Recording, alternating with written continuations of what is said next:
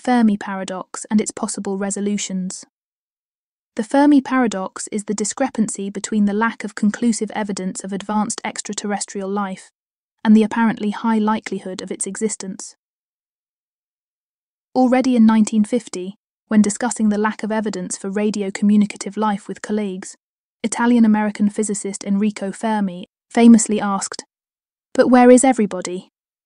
In the meantime, estimates for the number of stars and galaxies have only gone up. There are probably over 100 billion stars in the Milky Way alone. Estimates for the number of galaxies in the universe have now reached 2 trillion. More and more extrasolar planets are discovered every year. There should be plenty of places where intelligent beings able to communicate over long distances could have developed. In 1961, astronomer Frank Drake wrote an equation that summarizes the main concepts which scientists must contemplate when considering the question of other radio communicative life. The Drake equation was meant to stimulate scientific dialogue at the first scientific meeting on the search for extraterrestrial intelligence, SETI. No matter how the equation is specified, given the enormous numbers of stars and planets, there should be a lot of extraterrestrial life in the universe. But despite intensive search by the SETI Institute and other, so far, not a single contact with an extraterrestrial civilization has been established. The question still is but where is everybody? There have been many attempts to resolve the Fermi paradox. The simplest explanation for the lack of interstellar communication is that it is technically very difficult. Space is enormously large. Our solar system is part of the Milky Way, a medium sized galaxy that is 100,000 light years across. Our next neighbour galaxy, Andromeda, is already 2.5 million light years away. Space is full of dust clouds and magnetic fields. Even a coherent laser like beam of electromagnetic radiation would face much interference in any long distance travel across space. But such problems are solvable building a laser that can travel long distances in space is already within the reach of available technology. The power output needed to project a signal travelling at the speed of light across huge distances would have to be very large, in the range of 2 megawatts. Such a powerful laser in an interstellar beacon system would be quite destructive. It would pose a danger to any eyeball, plane, spacecraft, or satellite crossing its path. Therefore, a good place to build it would be the dark side of the moon. The super laser would have to be fired through a telescope some 30 to 45 metres in diameter, similar to the 39 metre mirror of the European Extremely Large Telescope that has been set up in Chile. With such an installation, all alien civilizations within a radius of 20,000 light years could be reached. However, all effort would be in vain if alien civilizations would not be able to detect the signal or they would not understand the communication or the method used to communicate. The most powerful argument against sending laser beams to aliens is another. Stephen Hawking warned mankind to be wary of eagerly advertising its presence. Assuming life on another world was subject to evolution by natural selection, it can also be assumed that any dominant species would have a pronounced aggressive trait, just like humans do. A special case of the communication problem hypothesis that is taking up Hawking's argument is the dark forest hypothesis. In a wild forest, predators come out at night, so it is wise to be quiet and not advertise your presence. Similarly, the dark forest hypothesis postulates that many alien civilizations exist throughout the universe, but they are both silent and hostile, maintaining their undetectability for fear of being destroyed by another aggressive and undetected civilization. All intelligent beings are just sitting on their planets with the lights out, or rather with their output of electromagnetic waves tightly controlled. The rare Earth hypothesis argues that the evolution of life, and especially of intelligent species, requires such a complex combination of astrophysical, geological, and biological events and circumstances that in the entire history of the universe only very few or even only one higher civilization has ever come into being. The evolution of biological complexity on Earth relied on a host of fortuitous circumstances, such as a galactic habitable zone, a star, and planets having the requisite conditions for a continuous habitable zone within the solar system. the advantage of a large moon, conditions needed to ensure the planet has a magnetosphere, an atmosphere and plate tectonics, the specific chemistry of the lithosphere, atmosphere, and oceans, the role of evolutionary pumps, such as massive glaciation and rare bolide impacts. Perhaps most importantly, advanced life needs whatever it was that led to the transition of prokaryotic cells to eukaryotic cells. From unicellular to multicellular life, sexual reproduction and evolutionary development bursts such as the Cambrian explosion. The hypothesis concludes, more or less, that complex life is rare because it can evolve only on the surface of an Earth like planet or on a suitable satellite of a planet under a similar complex set of circumstances and events. If this is correct, the evolution of intelligent life would indeed be a highly improbable phenomenon, and likely to be rare throughout the universe as a whole. However, critics of the rare Earth hypothesis state that it is neither hypothesis nor prediction, but merely a description of how life arose on Earth. David Darling remarked, What matters is not whether there's anything unusual about the Earth. There's going to be something idiosyncratic about every planet in space. What matters is whether any of Earth's circumstances are not only unusual, but also essential for complex life. Until extraterrestrial life has been found and studied, nobody knows what is really essential for the evolution of complex life forms in the universe. On Earth, there have been numerous major extinction events that destroyed the majority of complex species alive at the time.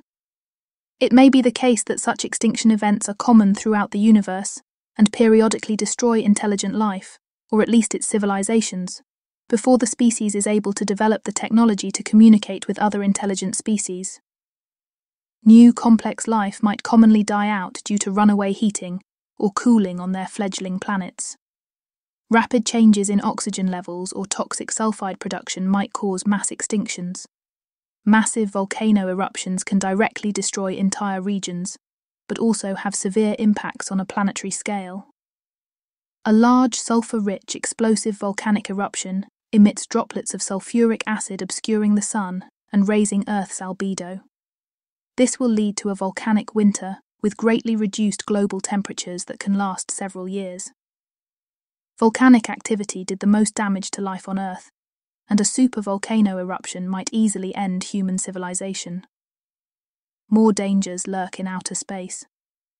Earth is constantly barraged by extraterrestrial debris, about 50 tons daily. Almost all the material is vaporized in Earth's atmosphere, leaving a bright trail, the fondly called shooting stars. However, a large object can pass the atmospheric shield and cause severe damage.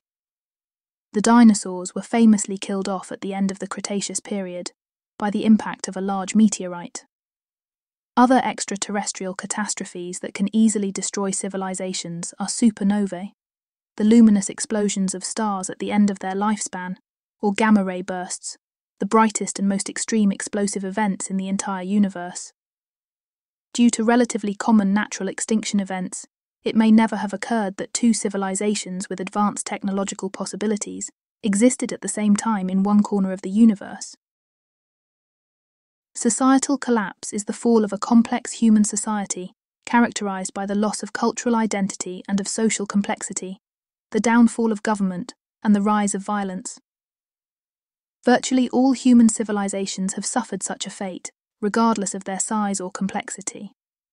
What is new today is that humanity is acting at a planetary level, and civilizational collapse might be not restricted to some societies, but affect the entire species. Some 60,000 years ago, modern humans migrated out of Africa. They found huge animals on all continents that were ecologically naive, with no fear of the newly arrived predators. Humans exterminated most of the global megafauna. And, for good measure, they drove the other Homo species that still lived outside Africa to extinction. E.O. Wilson famously remarked The noble savage never existed. Eden occupied was a slaughterhouse, Paradise found is paradise lost. About 10,000 years ago, agriculture was invented. Jared Diamond called it the worst mistake in the history of the human race. Most global ecosystems were completely changed to serve human needs, causing a spike in species extinctions. For example, when looking at the global body mass of mammals, 60% are now domestic animals, 36% are humans, and only 4% are surviving wild animals. From about 1750 onwards, industrialization resulted in almost total domestication of the planet, the spread of extensive human made ecosystems, pollution of land, water, and air, and changes in the Earth's atmosphere, leading to climate change. Human success has been striking. A simple primate achieved the total conquest and domestication of its home planet, the extermination or reduction of most species not serving the human cause, and a never before seen level of consumption of planetary resources in the course of a few generations. The numbers of sapiens have risen from a few thousand to almost 10 billion. However, this human victory will not last. It is obvious that rampant resource depletion, species annihilation, and destruction of the life supporting systems are not sustainable. Paradoxically, humans know perfectly what to do to avoid disaster, and they have all the necessary technological instruments, but apparently they are bound by their innate and their culturally ingrained traits. On a global scale, human behaviour is characterised by limitless greed, deification of consumption, myopia, extreme discounting of the future, equaling extreme intergenerational egoism, hate based on imaginary stories, inability to cooperate on a planetary level. Instead of solving the problems, humans choose to celebrate a last unbridled global orgy of total consumption. This stage of human development has been called the Age of Stupid. Human civilization might now have reached the end stage of a rise and fall cycle. The pessimistic outcome would be intense resource wars, breakdown of all order, and finally collective ecological suicide. Regarding the Fermi paradox, maybe there never existed a truly intelligent civilization. There only have been societies of half wits that all went through a similar rise and fall cycle as Homo sapiens, conquering their planets, eating up all the resources, and then self destruct. The optimistic outcome for the age of stupid would be the billionaire's vision. As humans are unable to change their nature and will stay greedy, myopic, hateful, egoistic, and unable to cooperate globally, the only solution is further expansion. To escape collapse and demise, humans will have to infest and exploit other planets. The zoo hypothesis assumes that intelligent civilizations are not rare. They have become interplanetary and interstellar, and have settled in large parts of the universe. However, they prefer not to reveal their existence to primitive life forms such as Homo sapiens.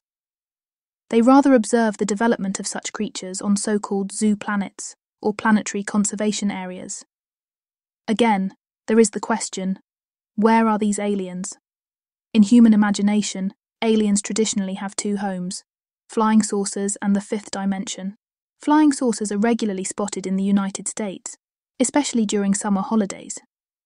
It seems that such saucers are the most common mode of transport for aliens. There have been speculations that beings or entities could exist in extra dimensions, coexisting alongside our familiar 3D world. There could be extra spatial dimensions beyond the ones we are aware of. However, these theoretical extra dimensions are compactified or curled up at extremely small scales.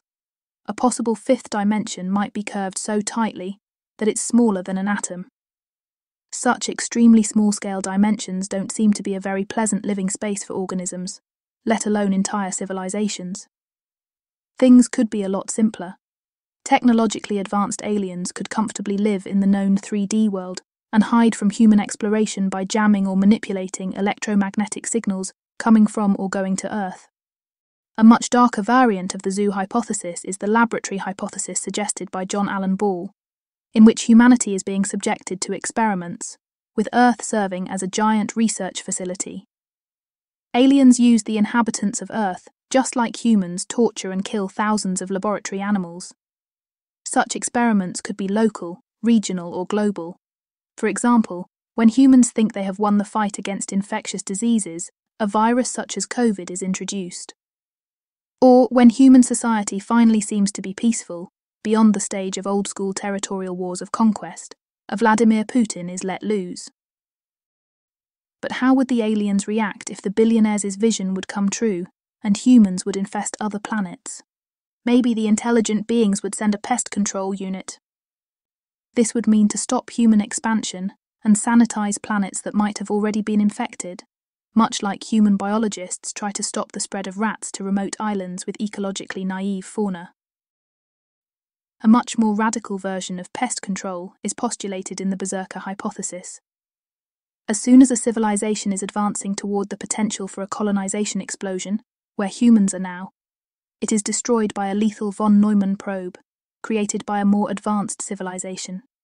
In the worst case scenario, humanity has already alerted alien superintelligences to its existence and is next in line to be annihilated. Colonization of other planets would not lead to containment, but to complete destruction. This potential threat should be an additional argument for humanity to better sort out things at home. In our video on Zoo Planet Earth, we explore the maybe most exotic of all scenarios the visit of extraterrestrials who show compassion to the human predicament. Nobody has ever met aliens, therefore, finding compassionate, intelligent beings who help to sort out human follies is an improbable but legitimate possibility. But humanity should not bet on it. We are the only ones who can help ourselves. There should be no expectation of mentors or saviours to step down from the sky on our behalf.